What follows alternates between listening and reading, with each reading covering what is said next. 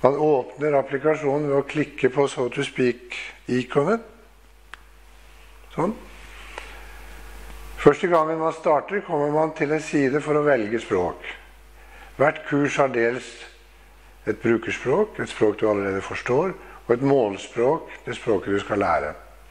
Hvis du bytter brukerspråk, får du opp en liste med kurs som finnes med det valgte brukerspråket. Når du velger et kurs, kommer du rett inn på den første oppgaven. Først får du noen ruter med beskrivelse av språklyden du skal øve på. Les den nøye, for der fins en del nyttige tips om uttalen. Så kommer du til selve øvelsesoppgaven. Den består av en setning som du skal arbeide med. Du vil i løpet av kurset komme tilbake til samme setning tre ganger. For hver gang forandres fokuset. Først arbeider vi hovedsakelig med lydoppfattelse, deretter med uttale, og sist med forståelse av innholdet.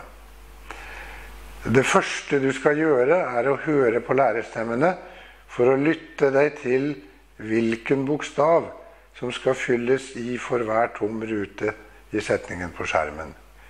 Du kan bli nødt til å lytte mange ganger for å komme frem til hvilken lyd det er. Noen ganger må du nok gjette litt før du finner ut hvilken bokstav eller hvilke bokstaver lyden tilsvarer. I de første oppgavene har du bare én språklyd å velge mellom, men etter hvert som du går gjennom kurset, blir det nye lyder, én av gangen. Her skal jeg vise hvordan det kan gå til med en øvelse fra vårt franskkurs. Jeg spiller opp modellstemmene og lytter etter den lyden som tilsvarer den første åpne ruten. Dans un an, on viendra vous voir. Dans un an, on viendra vous voir.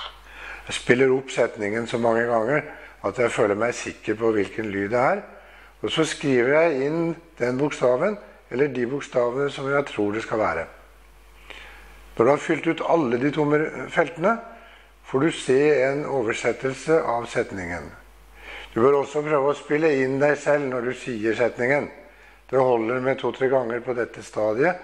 Målet er først og fremst at du skal få en følelse av hvor vanskeligheten i uttalen egentlig ligger. Jeg viser her hvordan det skal gjøres. Dans un an, on viendra vous voir. Dans un an, on viendra vous voir. Dans un an, on viendra vous voir. Og så sammenligner vi. Dans un an, on viendra vous voir.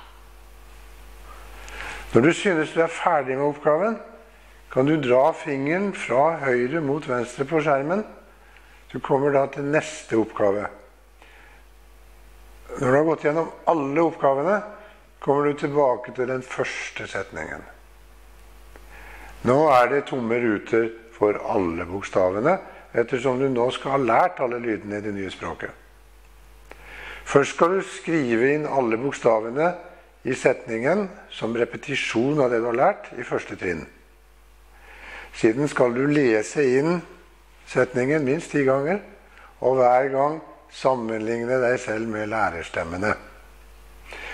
Prøv å komme så nært lærerne du kan i uttale, rytme og tonefall.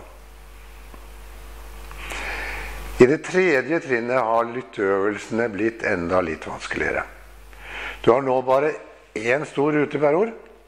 Det gjelder å høre rett for å kunne skrive rett. Du skal også spille inn deg selv noen ganger for å sjekke at uttalen din sitter rett. Er du ikke fornøyd, må du øve videre til det sitter.